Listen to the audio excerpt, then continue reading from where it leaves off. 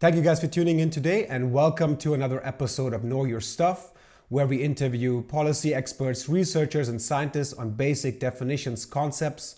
My name is Zain Raza, and today we'll be talking to Dr. Ramani, who's a clinical psychologist and professor of psychology at the California State University in Los Angeles. And if I may say very humbly, she's a superstar on the internet and has helped create a lot of awareness and understanding on mental health issues. She's also an author, and her latest book is called Don't You Know Who I Am? How to Stay Sane in an Era of Narcissism, Entitlement, and Incivility. Dr. Ramani, thank you so much for your time today. Thank you, Zain. How are you? I'm doing great. Before we get into the topic of trauma, which we will focus uh, on today's interview, let us begin with your personal motivation and journey. Talk about your journey and personal motivation that led you to pursue the field of psychology it, it, was curiosity above all else. You know, I'm the child of immigrant parents in the United States, and I think that sense of otherness often left me sort of a little bit sort of on the outside looking in, which I think always made me wonder how, why do people do what they do? Why do I do what they do? And trying to understand sort of how to integrate my parents' culture with the United States. I had always been interested in sort of the brain and brain science. And then fast forward, I ended up deciding to pursue my PhD. I was working with um, researchers in New York City on HIV in the, um, gosh, I guess that was the late 1980s, and another pandemic. And, um, and so at that time, I got really interested in the relationship of mind, of body, of behavior. And then I went on to UCLA, got my PhD, incredible experience, amazing program. And then I've been a professor, but you know, being a psychologist, it's it's almost the only other thing I wanted to be as a child was an astronaut. And I have to say, being a psychologist is every bit as great as an astronaut because when you think of the number of neurons and connections in the brain, it's a galaxy and human behavior is infinite. And it's the one thing we encounter every day, whether we're in the grocery store, whether we're with our families, w- at work. And so I sort of felt like this was sort of a great career and a great pursuit for understanding everything going on around me. But most importantly, I think since I was a child, I've had a singular motivation, which is what is the way I could alleviate human suffering? And so this was sort of what that this seemed like a great pathway to do it. So that's sort of what my singular goal is how do I alleviate human suffering? That leads me to our next question, which is uh, right around this area.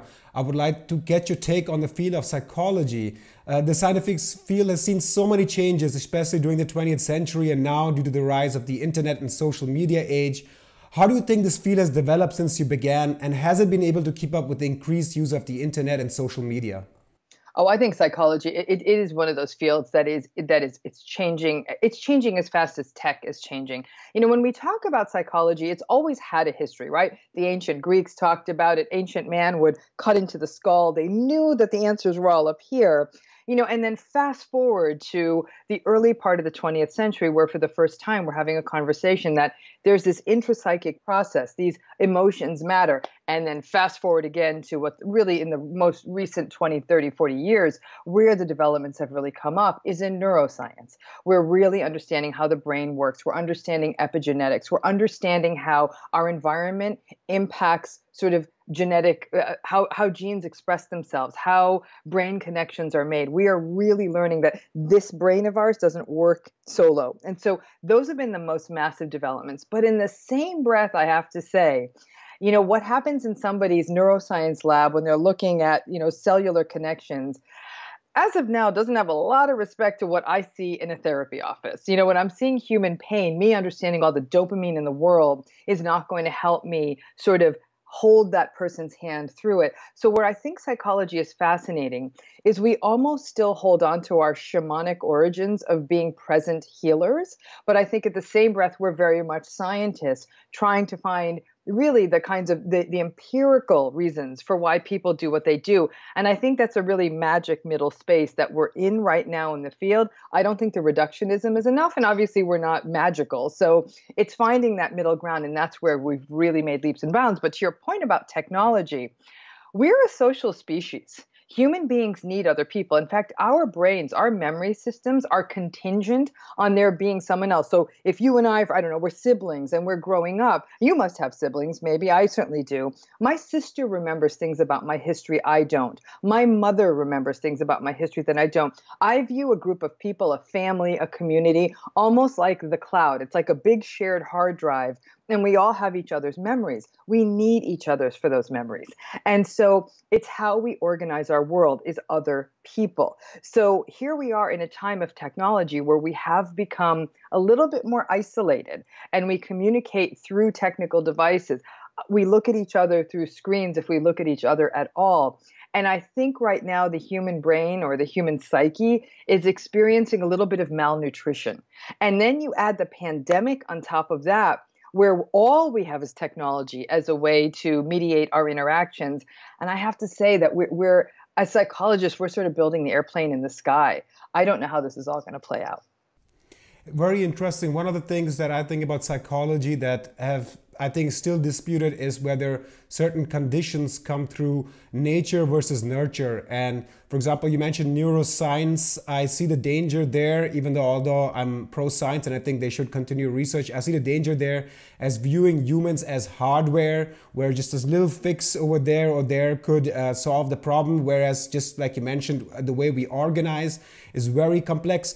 Um, just before we get into the topic of trauma, could you talk about how you, how you stay, stand on this topic of nature versus nurture?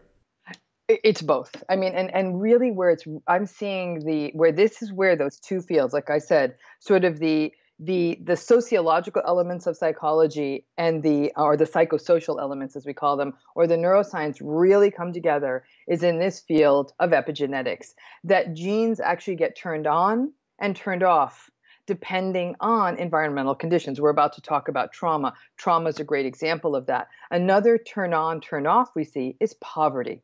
And to me, mitigation of poverty globally may be the single most important thing we could do for psychological reasons. If that was the only reason we did it, that would be sufficient. We can think of lifelong challenges that poverty raises in terms of epigenetic connections prenatally all the way to end of life. You address that, you've addressed a huge part of the equation. So, what this means now is that this human brain that seems like a self contained hard drive, as you put it, is actually very vulnerable to the influences around it. It's not just, it's not just neurons that are internally contained. All of this is shaped by the world it's in, and we're arrogant if we don't include the psychosocial piece. I think I, I don't disagree with you. I think there's an arrogance to neuroscience, there's an incredible importance, but there's also an arrogance. And like I said, in 2020, when we talk about psychology and the practice of psychotherapy, it is as much shamanistic as it is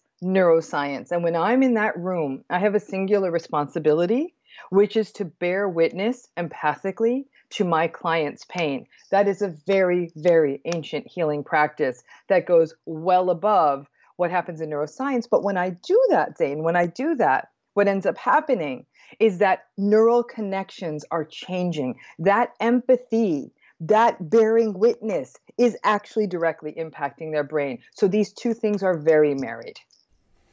Let us return to the main focus of today trauma Let's begin with the very basics. Could you first define what it is and also talk about the evolu evolutionary reasons why this mechanism developed? So trauma is an experience. It's usually it's, it can be an event or it can be a series of events that occur that are not part of the typical human experience and that bring harm or significant fear to the person experiencing it. So it is not so an example of a trauma. The most classical example would be something like a sexual assault, right? That is not a normal part of the human experience. It either brings harm or even the threat or witnessing it happening to someone else, even if it's not happening to you, witnessing someone be harmed is also considered trauma.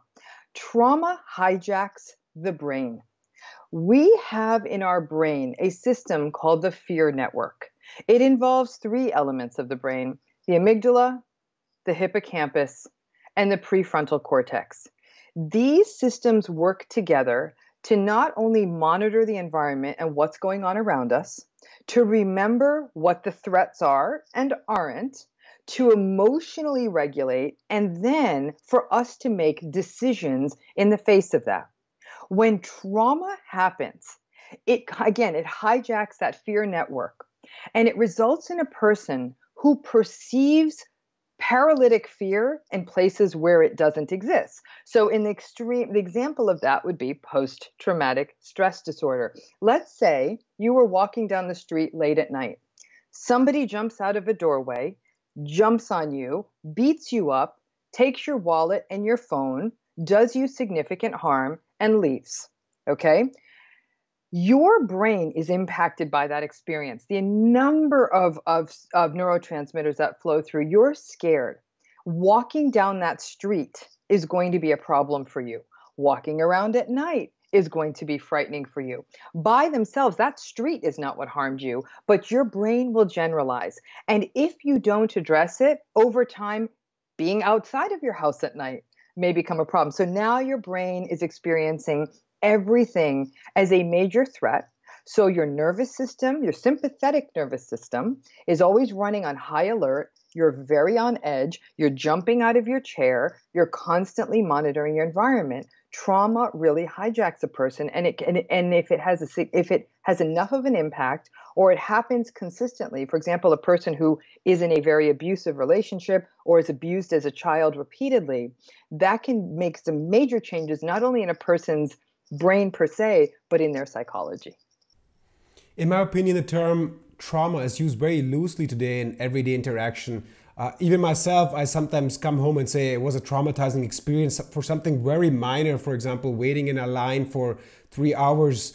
Uh, and I hear other people say it in that way too. I know they don't mean it that way, but it's still part of everyday terminology. I think therefore it's important here to differentiate what may constitute trauma and what may not. Is there a ladder system that measures the severity of trauma or to put it differently, that assesses the various degrees of trauma that one may experience?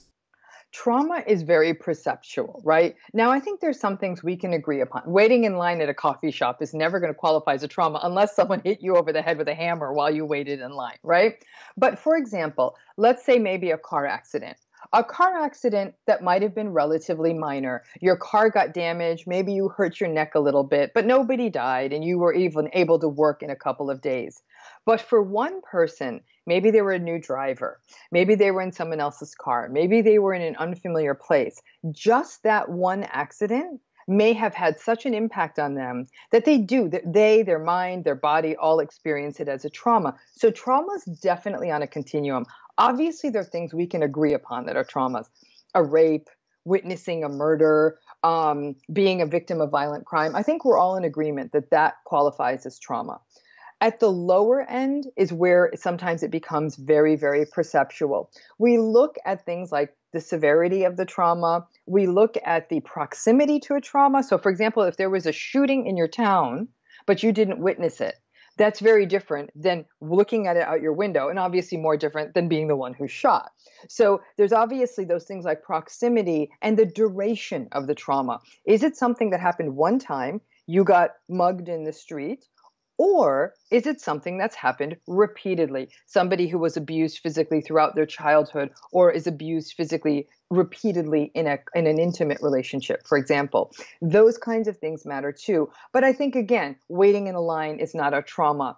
Being yelled at, you know, by a friend while uncomfortable may not qualify as a trauma if you know if, if there wasn't a perception of threat but saying it's that perception of threat that matters. If that person is screaming at you, but you also see the glint of a gun in their belt, you might say that just being yelled at isn't a trauma, but now you realize they have a weapon or a knife or something.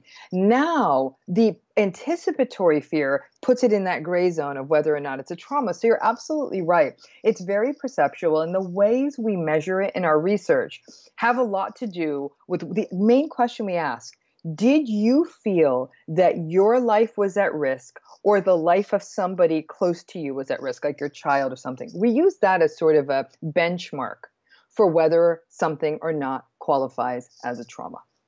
When some tra- something traumatic happens, there's um, people that are part of it. Not everybody is affected in the same way. Let's take an example. For example, there's a bank robbery and there's 20 people there and some will perceive this there'll be a, it'll be a traumatizing experience while others may come out strong so what i want to focus here is the individual what conditions lead to one person not being as traumatized or traumatized at all while the other gets uh, severely traumatized. Is this perhaps something to do with parenting or psychological strength or the perception mechanism? Or is this just um, something so complex that psychology cannot distinguish between two people that may have the same environment, same experience, but come out very differently? There's multiple reasons that people have very different responses to trauma. And you're absolutely right. If you had a group trauma, a, bank robbery where 20 people were present, and in fact, we have examples all the time natural disasters, a hurricane, an earthquake, hundreds, if not thousands, of people are affected. Some come out with severe post traumatic stress disorder, others don't. There's several reasons. There's been a lot of research on this. So we kind of do have an idea of this. We can't predict it precisely, but we definitely know who's going to be more vulnerable. Number one, a history of mental health issues. People who have existing mental health issues, depression, anxiety, personality disorders, any of those issues can actually magnify the likelihood that a person may have a stronger reaction to the trauma. Number two, a past history of trauma. We do know that trauma can be very additive, maybe even multiplied. In other words, if a person has a history of trauma from childhood, if a person has a history of trauma from other times in their life, that that can end up becoming getting to be quite magnified. So, in other words, let's say a person was assaulted as a child or abused as a child, and then they are exposed to a trauma later in life, the probability is that they're going to have a stronger trauma reaction.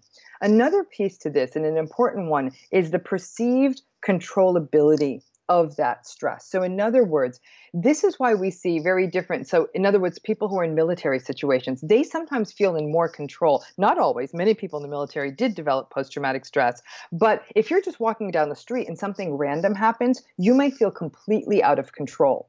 But if it's a circumstance where you may feel you have more control, your perceived sense of control at the time the trauma happened also is a predictor of whether or not you'll have a traumatic stress reaction. Other factors go back to what I was saying earlier, things like the severity of the stressor, the proximity, how long it happened. So the severity would be were people getting shot and killed in that robbery, or was it the sense of menace and nobody actually got physically harmed? You may see differential reactions there.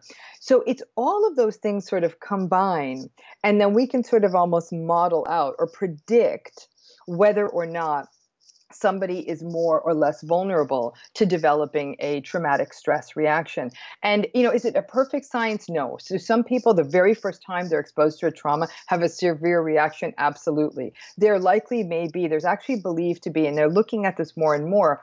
Are there people whose brains are wired a certain way? So, for example, are there even vulnerabilities that come from a child who may not have experienced direct trauma as a childhood, but may in childhood, but may have experienced uh, poverty, may have experienced neglect, may have experienced any of these things, that that might also create a vulnerability because of issues around stress hormones. So you can see it's a very complicated system. And so to some degree, we can predict it. But since we all don't walk around with our psych histories in our pockets, we don't always know these things. And so by the time the trauma comes, we have to construct it sort of backwards.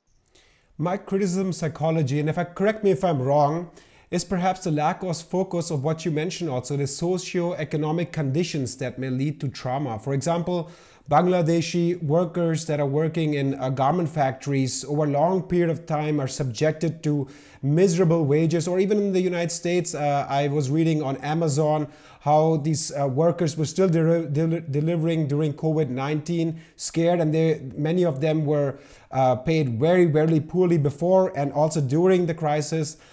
And some people are suffering, for, for example, just to make a living on a daily basis.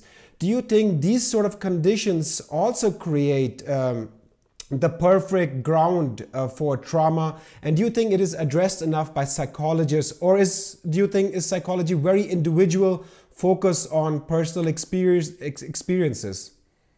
I think that what it comes down to is that we we have to look at a person holistically. There's a, a, a, there's a diagram written by this guy named Bronfenbrenner. Okay, so it's what we call this sort of um, God, I, I want to say a biopsychosocial model. I might be calling it the wrong thing, but it's four concentric circles. In the middle of the four circles is the individual. The next circle is the family. The next circle is the community, and the largest circle is the society. We need to understand those inter- those sort of nested circles to really understand trauma because you brought up a very important point. This idea, and we're seeing it so pronounced in the world where we're seeing so much stratification. The people at the top have everything, and the people at the bottom economically have almost nothing. And being treated poorly at work, living under other circumstances which may not qualify as trauma, but the cumulative disrespect, discontrol, uncertainty all accumulate to make a person more vulnerable to trauma. In a way, it sort of robs a people of resilience because they don't have that sense of certainty and predictability. Predictability, sadly, has increasingly become a luxury in our world. Often, the less you have, the less predictability, the less certainty, and the less control you have. And we know those issues when you don't have those things you're more vulnerable to anxiety. I'd be anxious if I don't know what tomorrow looks like. I'd be anxious if I don't know if I'm going to eat tomorrow. In many ways, the pandemic has thrust us into an interesting space, right? We ha- all had certain lives in January and February. None of our lives look like that anymore. But interestingly, Many people who are classified as essential workers who never got the chance to step away are having to put themselves into unsafe situations day after day after day. I would argue that that accumulation of exposure, that accumulation of stress, that at some level has a traumatic flair to it because it's inescapable. Most Hollywood films, in particular war films, show trauma arising when an individual has a horrifying experience on the battlefield. Or other films like Joker, he has a very bad experience and becomes a villain, whereas Batman confronts uh, his trauma where he lost his uh, parents and he uh, was afraid of bats and becomes sort of a hero. Hence, I've always wondered why people have chosen different routes in their life. For example, I've also seen films when I was younger where uh, someone had a traumatic experience in the university or school and turns out to be a killer. Um, what do you make of this uh, portrayal of trauma in popular culture? And also, uh, and this is the more important question, um, what leads to people becoming more negative as, as opposed to overcoming trauma and positive? What is the differentiation here? There's a danger in, in how trauma has often been portrayed cinematically. There's a danger when we only view it the, as the most at the most extreme. What's interesting is is the conversations about trauma and post-traumatic stress have really only arisen since World War II. When when people were coming back from World War II and they called it um, ah, there was a there was a name that they um, they use for it and it's going to come to me. See i'm showing you my age. I'm not remember you know um, but they, they would they would shell shocked. They'd come back shell shocked. That was the term they would use. And there was the syndrome of shell shocked was really what would then transform into post-traumatic stress disorder. And there were actually a lot of politics around it in the united states and how veterans would get their health care and all of that. But it was at that time we started identifying this experience of trauma and then expanded it. Because i have to be honest with you until then there was a lot of treating trauma historically. As like that's just life. You know these things happen in life. And she's been a little bit off since that thing happened to her right? Not viewing it as trauma and a psychological experience. But in movies when we focus on trauma we tend to focus on things like severe assault uh, war uh, sexual assault. Those are the kinds of things that get focused on. And while those are obviously all traumas there are many many other things that qualify but the other issue is is how quickly people can just be put together and everything's fine and they can, you know, and it, it's not quick. Healing from trauma is a process and it is a process. It doesn't mean it can't happen. And all of us who do trauma based work, we see that it requires paying attention to the research, being consistent, uh, consistent early intervention when as soon as possible as close to the trauma we try to bring people in to start working it through but the next point you raised is absolutely critical, which is whenever we view trauma, we we almost 99% of the time view it as this experience that destroys a person. There is a burgeoning, promising literature on post-traumatic growth.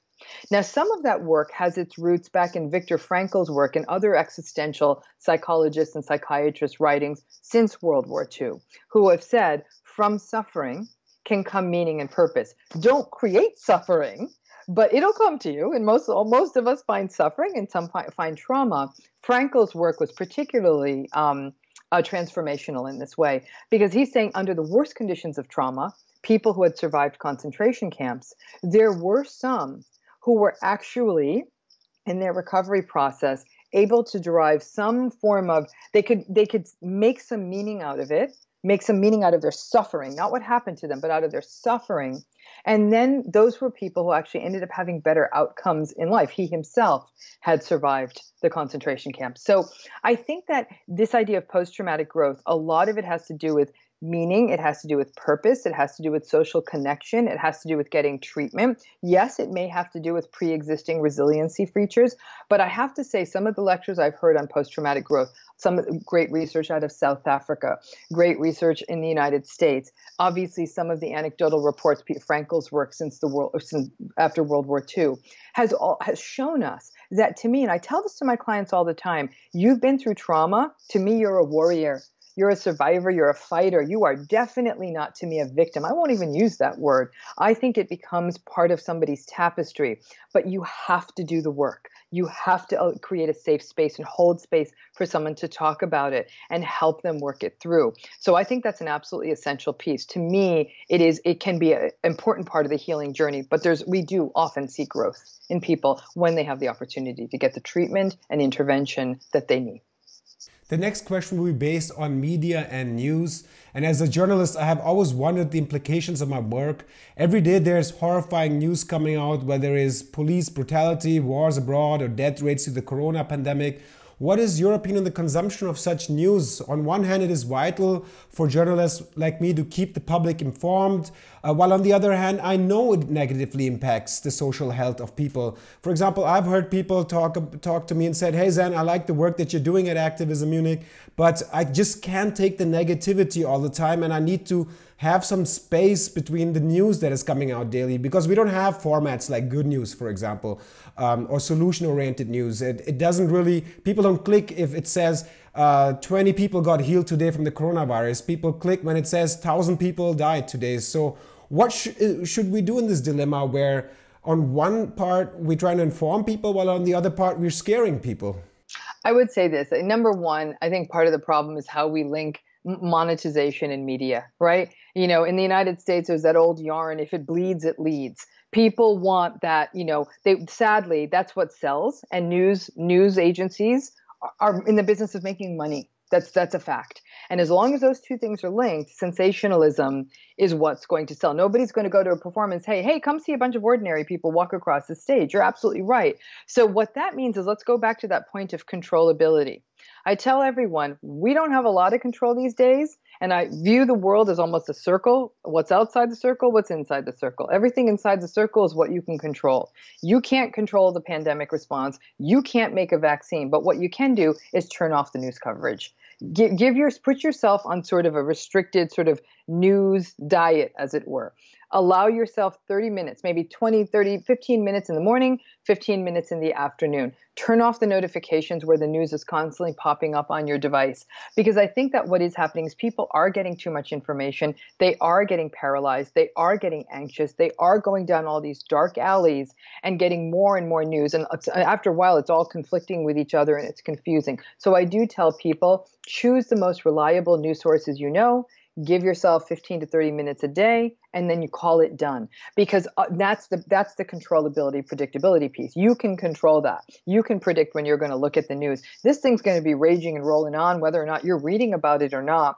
And that's where that meaning and purpose piece comes. Fill the rest of your day with meaningful, purposeful, affiliative activities, whether that's a distanced visit, whether that's a Zoom call, whether that's reading, working, doing something that matters to you or that you have to do, you know, and do those things. And then you can create some kind of balance. We live in an age where we're overwhelmed with information. It's a massive contributor to anxiety. And after every natural disaster, natural event, mass shooting, you name it, psychologists always say the same thing please turn off the news for a little while because otherwise the anxiety is going to build up to a level that it really feels destabilizing. And to your point about trauma, all of this anxiety provoking news is actually even more triggering for people with histories of trauma for whom modulation of fear is very challenging at times. So, all of these fear oriented stimuli hitting someone with a trauma history is really actually a recipe for a person feeling very destabilized.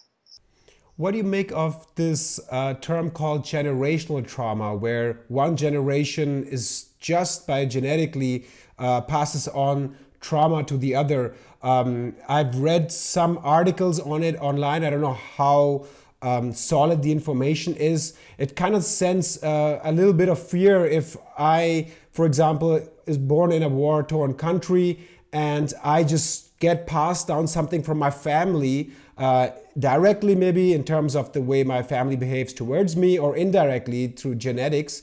Um, and I can't have any control over it. Uh, what is uh, your research or your assessment being on this uh, term called generational trauma? So, generational trauma is actually a little bit more subtle than what you're saying. It's not like my father had trauma, I'm going to be born, I'm born with trauma. It's not that at all. What ends up happening is when we look at intergenerational cycles, it's much more subtle. For example, the mother who carries a pregnancy in a refugee camp, in a war torn country, under conditions of trauma, we are going to see that she has a less hospitable, as you will, prenatal environment for that child. She has more stress hormones going through her body. That is going to affect fetal development, those epigenetics I was just talking about. Now the baby is born. The baby has two very stressed parents generationally what happens is trauma can also beget other behavioral patterns too like the likelihood of relationship violence you know exposure to other community violence exposure to the other violence in the child's world. So by generational violence uh, tra- generational trauma it doesn't mean that you're just born and it's bad luck. Well my parents went through trauma and now i have a traumatic stress. It's not that at all. It's that trauma begets this entire cluster of issues, including poverty, including instability, including the greater hood of ex- violence exposure, whether in the home or outside of the home, a greater likelihood of poor education, unless the family is able to transition away from that. So if the parents grew up and married and even had their children in an area of war or conflict or violence, and then managed to move their young family into a place that's safer, they migrate to that new place generational trauma may argue that some of the leftover impacts, the parents having those post traumatic stress profiles, then can appear in their behavior and how they parent their child and how they treat their child, which isn't optimal for the child and can impact the child. Now, if those parents migrate and they get the support they need and they're given parenting training and therapy and the assistance they need to build a safe and happy space and are helped in assimilating and, and, and adjusting to their new society, we could mitigate those impacts. We don't do these things. We t- take people who are already traumatized from one situation, move them into another that's allegedly safer, and then just sort of leave them there to flounder and figure it out we have to support people that emp- that lack of empathy and that lack of compassion is something that's hobbling our world right now if we could cut that through all of uh, all of our policies we would have so much of a safer healthier and frankly i think more um, more even economically enriched world. But when the people making the decisions want all the wealth for themselves with little regard for the people who are vulnerable, we're going to keep playing out these generational cycles in perpetuity. One of the things I always hear is when I talk to people, uh, there's a lot of comparisons taking place. For example, if I say, look at this immigrant family that's come here and they were traumatized and they couldn't make it and they're suffering, then I usually hear, well, look at the other immigrant family, they made it through. Or if I talk to some other people that um, didn't uh, get their university application time due to depression, uh, then I usually hear, hey, it doesn't matter, the guy or the girl has to stand up and do it because I did it and I came from a background which was much more difficult. Uh, I had to work overnight. So my question is, should we be comparing? Uh, because the argument for that would be comparison is good because it sets sort of a social standard, while on the other hand, I could see it's not differentiated. What is your take? Should it be a mixed bag or does this fall on the one hand or the other? Comparison is in general not very good because unless you don't know my backstory, you know very little about me. So if you started comparing to me, and same vice versa, I know very little about you. You can see how very quickly we can get ourselves into a really tricky space. I think that uh, this is again where I'm talking about empathy and compassion. That if I see something, see someone struggling who didn't get the application in on time, the immigrant family that didn't make it, instead of saying, "Well, I'm so much better," having to create a sense of superiority over that person to stop and wonder what it is it that they may be struggling with. I'm a university professor. That's my job. If students not doing well, I'd have to break it down and say what might be happening here. And it could be any number of things. But this sort of dismissiveness, this this unempathic rejection, this invalidation that has become so normative in a competitive society is something we enable all the time. I do agree you can have a standard. You can also even have a deadline. And maybe somebody wouldn't make the deadline, but maybe ahead of that deadline, we would need structures in place, whether they be reminders, whether it's identifying high risk people. A person who has a history of depression will also be experiencing things like apathy and amotivation, which make it harder sometimes to, they don't even feel like they're worthy of making the application. And so that's the sort of thing where mental health should be consistently built into schools to help guide that person. I don't view that as weakness. I actually view it as a tragedy if we don't support people because this idea of mental illness as a, as a disability is a load of you know what to me. I, I think that all of us bring gifts people who have struggled with mental health issues often are the ones who come up with unique solutions to problems, who create tremendously beautiful creative work, who write about the depth of the human experience in a way many other people can't get in touch with. We need all hands on deck as human beings. But right now, we live in this world where it's competitive, I'm superior to you. It's almost sort of like this Darwinian game of survivor where everybody's trying to gobble up all the resources for them, view themselves as somehow better. Again, that that sort of authoritarian competitive stance, it's doing nobody any good. That sense of sort of, you know, really entitlement is the only word I can say is I suffered more, so I should get more really doesn't account. I said, until you fully know another person's backstory, you don't get to say that. And so you want to take the deep dive and learn that person's story, then you and I can talk. I would like to talk about uh, coping mechanisms and uh, assessing trauma now.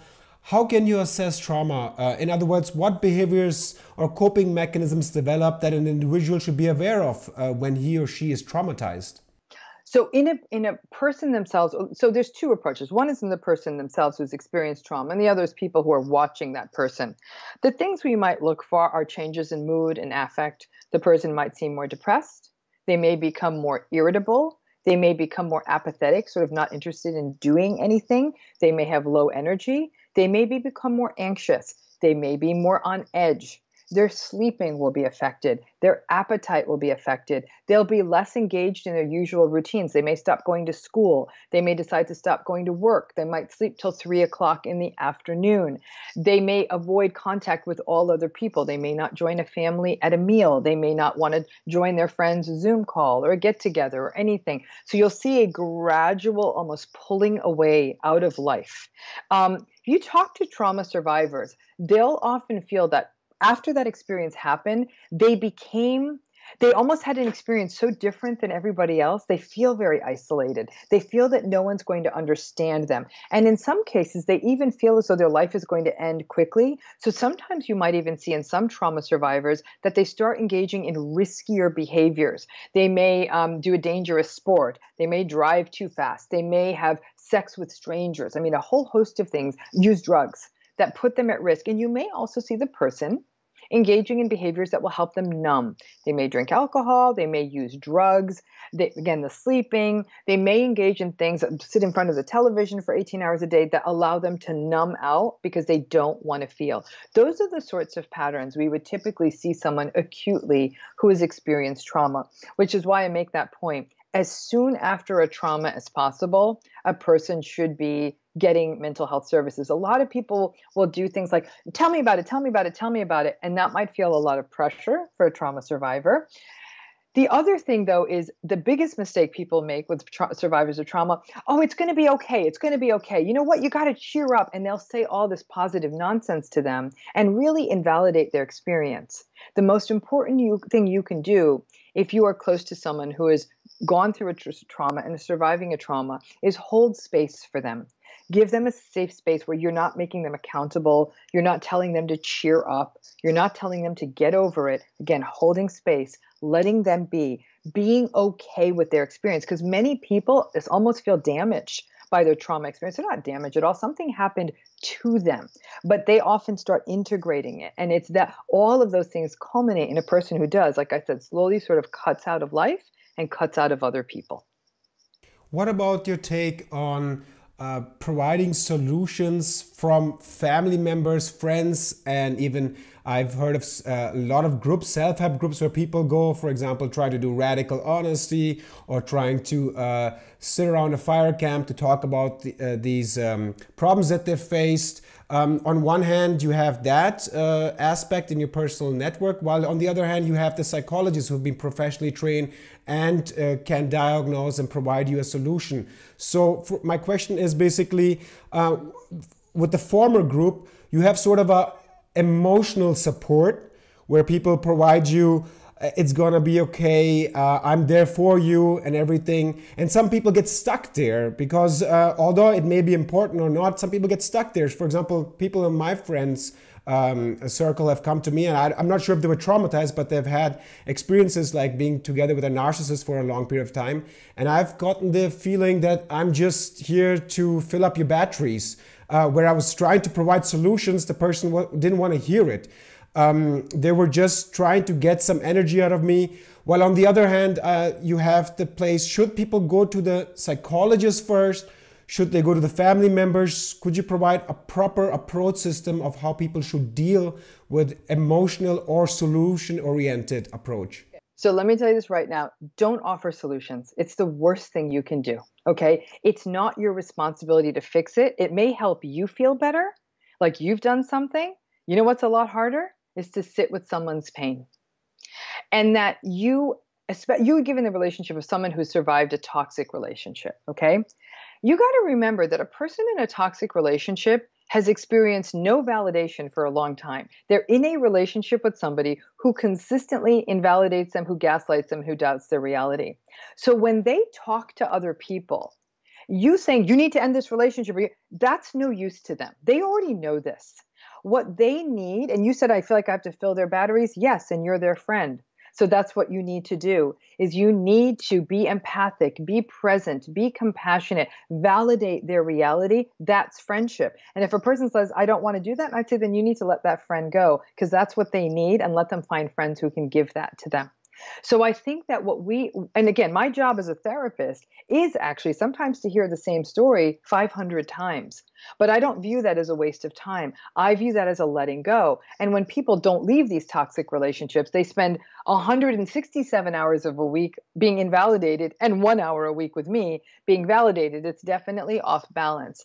I think a lot of people we live into, especially in the West, in, in, the Western world, we live in too fixy a culture. We have to fix everything. Do this, join this group. Here's a brochure. Here's a website. Get this app. No, we are so afraid of negative feeling states. Now, obviously, when negative feeling states spin out of control, anxiety disorder, major depression, post traumatic stress, that's when it has to come to my office. But for most of us, when we're having a bad day or a negative mood state, like, oh, I don't want to feel like this, I don't want to feel like this, and we we like I have to fix this. I said, no, you don't. Negative moods are as much a part of life as positive moods. Hold some space, they will pass. There's something to be learned there. In fact, I would believe evolutionarily, negative moods were often assigned to the system get, some time for yourself. Go off to go do something. Be alone. In fact people like charles darwin actually tried to argue that. He tried to argue that that depression has to be evolutionarily adaptive. He himself was depressed because so many people are depressed. He thought it might be a moment for people to go be by themselves and figure it out on their own. But instead of saying we got to figure out a way to cheer you up the best way we could a thing we could say to someone is like it sounds like you're having a tough day. How can i hold space for you? How can i help? And they might say i don't know and say then i'm just going to sit here with you and we can just sit here quietly and that's okay. That is something we as helpers and supporters need to learn to be there for others and then when it's our turn we need to be clear that that's an okay thing to ask for how to approach someone who has trauma but is unwilling to take it seriously. That's something I also hear about people uh, from uh, partners, for example, that are trying to be supportive, as you say, and saying, hey, maybe we can go together to get you help. And the person is just denying and saying, getting more and more stubborn and saying, I don't want to, I'm, I'm not crazy, I, I don't want to go to a shrink. You know, there's still a perception in, in, in many circles in our, our uh, in our country, um, in our society uh, going to a shrink means you're crazy. Uh, even though I personally believe even healthy people should go to a psychologist just for self reflection purposes. But uh, how do you get to a partner who is um, trying to get um, his husband or wife to go to a psychologist? Um, how do you motivate somebody like that? I would say that number one is that don't make it a direct ask. Like, you got to go see someone, right? Because it almost feels like I don't want to deal with this anymore. You need to go talk to someone else. I think it becomes integrated into a more supportive conversation. You know, when you're saying to them, they're, they're talking and sharing their feelings and say, "This sounds very, very hard." And, it, and what's what is, you know, you tell them, "It's what's striking me is that there's so many things you used to love to do, and you're not doing those things you love to do." And you help them. You want them to be a stakeholder in this decision making, right? And I think the challenge is is that we as a society have to learn to get more uh, more comfortable with other people's discomfort. And I think that the challenge is people are saying, "Oh, this is too big for me. I got they got to go to they have to go to a psychologist. I don't want to talk about this." And it becomes very much a command or it's a dismissiveness versus I'm seeing so many changes in you and you aren't you, you aren't you still love to paint and you're not painting anymore. Are there things you think could help? How could I help do you even think anyone else could help? Like can we let's let's think about this together because i want you to get back to that enriched life. Now i'm not saying that someone's necessarily going to say well yes you're absolutely right and i'm going to go to therapy. But i think if it's a more gentle approach that that helps a lot. If somebody asks you that question, I say, I say, I don't know what to do. Instead of being exasperated, say, oh, for God's sake, you should go to a therapist and say that you know, there's a lot of things we could think about here. I think, though, one thing that's going to be very important is that this is actually actually beyond what I know I can do well for you, and I know this would actually be going smoother for you if we could find someone to talk to. So I think that it, it to not make it so from a point of exasperation, but from a point of collaboration is where you're going to get a lot more success. And it goes to that original point this idea that people only go to therapists if they're crazy. Listen, I work with a lot of work, have worked, will work, do work with a lot of people. I would not call one of them crazy. I think these are incredibly sane human beings that are courageous enough. I think going to therapy is about courage. I think it's about self reflection. I think it's about wisdom to get into a room and be willing to be able to trust and be vulnerable, that makes you the strongest person in the place if you're able to do that. And so I have to say that I think that that's really where, to me, if we can reframe how therapy is thought of, but we're not there in our society yet. And I think that to the degree it feels collaborative rather than a command, a person may be more likely to sort of go along with it. And a final piece is that, you know, Viktor Frankl has this great quote. He says, abnormal behavior in response to an abnormal situation. No, an abnormal response to an abnormal situation is normal behavior. And that's what I often tell people like I can't I'm I'm abnormal. I mean, you're not abnormal. If I was going through what you're going through, I would be doing something the same. Like I think that we're so used to people should just quickly dust off and get back to life that we have to remember that when people are going through terrible times, right now, the whole, uh, certainly all of the United States is, and other parts of the world to differing degrees with the pandemic, none of us have normal lives. So a lot of us are behaving in ways that feel abnormal, and that's what we have to remember. This this pandemic, in some ways, is a collective trauma that is expecting everyone differently, but none of us are behaving in our usual ways for the most part. To me, that's not because everyone has gone mad, it's because we're all in an abnormal situation. And I think that if you can let someone know there's absolutely nothing wrong with you, you've been through something very difficult, very difficult. And the fastest way to get you healed again. If you had a broken leg, we wouldn't let you sit on it for two months. Right now, we just need to almost give you a sort of a psychological tune up. Would you consider therapy?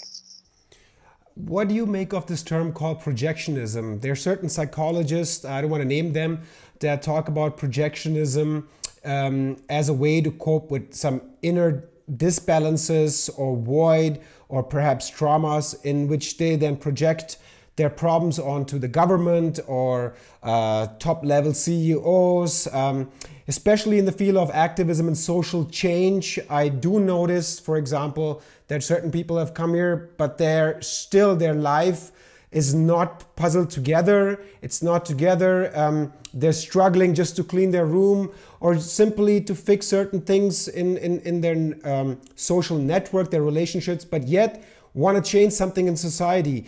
Is projectionism um, a sort of a way to cope with a trauma or certain imbalance? It can be. I think it's an interesting example. Like you can't keep your own house in order. You're angry at the world. You're going to blame these structures. Here's the key. I actually agree to some level. The way we've organized the world, these corporate structures, our governmental structures, they're obviously not working. Okay, we, we are a very stratified, unequal, unjust society, world, globe, right now. Okay, that we I, I think many, not all, obviously would agree with that, but I agree with that. The issue then becomes how much we take personal responsibility for our piece in it. And that personal responsibility starts same with how we treat the people around us. If you're going to go yammering on about this CEO, this president, this prime minister, this cabal, all of that, great. But if you're mistreating the people in your close spheres, your partner, your parent, your friend, I ain't buying that. You have got to keep your side of the street clean. Humanity starts at home. Do not start trying to bring down the CEO of Apple if you're treating your wife or husband or children badly. Get your house in order. Say, I'm angry. Uh, that's the reason I'm treating my wife badly is because I'm mad at a corporation. I am not buying that. That is victim talk I am not hearing that. I judge people on the way they treat the people closest to them. That's where we begin. And if you are treating them badly and claiming to be on some activist rant, that feels like narcissism. That does not feel like activism. Overcoming trauma, can it be done by itself? And in particular, I'm asking this question because we have this sort of arrogance in Western society um, to project what we have here onto other societies. So, for example, I'm from Pakistan, and people don't even have uh, awareness on mental health issues, you know, over there. So, what do we do about the um, so many people that are suffering? They don't even know um, how they don't have the mental resources to deal with, or even societal resources like government structures, a social system, and going to a psychologist is only reserved for the upper class. So, within that framework, can a person overcome trauma itself? And if not, what can we do to support these people? Zain, you're bringing up a huge public health crisis. WHO has identified mental health as a massive public health crisis. We tend to reserve that term for pandemics and infectious diseases. But the reason, the fallout of something like a pandemic or anything else is the mental health crisis. And one of the greatest elements, pieces of this mental health crisis is the lack of available mental health workers. My family's from India, so I completely resonate with the crisis that's also happening in Pakistan. There's an absolute lack of mental health workers in in South Asia, and frankly, throughout the world. I'd even argue in the United States, believe it or not. So, and when there is access to mental health, it's often expensive, it's difficult to reach. Sometimes the providers aren't able to handle a whole range of issues. People don't know how to pick a mental health provider. So, this is a massive global public health crisis. Do I think someone can figure this out by themselves? Not completely. I think if a trauma is pretty significant, if it's not addressed, it's almost like can a bone heal itself? Yeah, in some cases it can, but it won't heal right and that arm or that leg is really not going to work properly, a person's always going to have a little bit of a limp. My job as a psychologist is to help people heal in a way that they don't have that little bit of a limp, or at least we can we can hide it a little bit and they can get through life as optimally as possible. And so but the fact is, what's happening, and this is where I see some potential utility to the internet, is that more and more and more of us, certainly I put out a lot of free content. There are people who put out low cost content is that there at least there's more more information online that gets to many people that could direct them to important books to important resources. There are techniques that can be self driven, like meditation and mindfulness work, that can definitely help address issues around anxiety. But I mean, listen, I think that works to a point, and I think those are great tools to sort of keep in your pocket. But when it comes to big ticket issues like trauma, especially if it's been complex trauma that's played out for many, many years, I don't think this is somebody who's in a, in a position to fix this on their own. I think there are many courageous NGOs out there that attempt to address gender based violence, that